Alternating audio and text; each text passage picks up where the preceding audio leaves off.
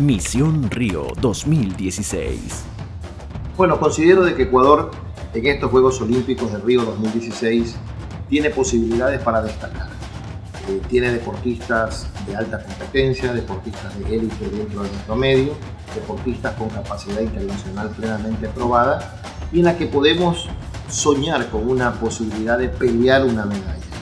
Eh, el caso de, César de César, que va por sus segundos olímpicos, es un hombre que tiene mucha experiencia con campeonato de competencia, de competiciones mundiales y muchas más, en canotaje, está en marcha Chocho, que es el que ha tomado la posta de esa gran cadena de marchistas que hemos tenido en el país me parece que va por buen camino.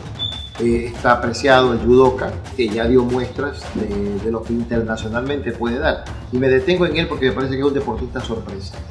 Un deportista que puede dar el campanazo en estas Olimpiadas porque se lo ve con una mentalidad muy, muy positiva, muy ganadora. Todas la tienen, pero no sé, a él lo, destaco particularmente.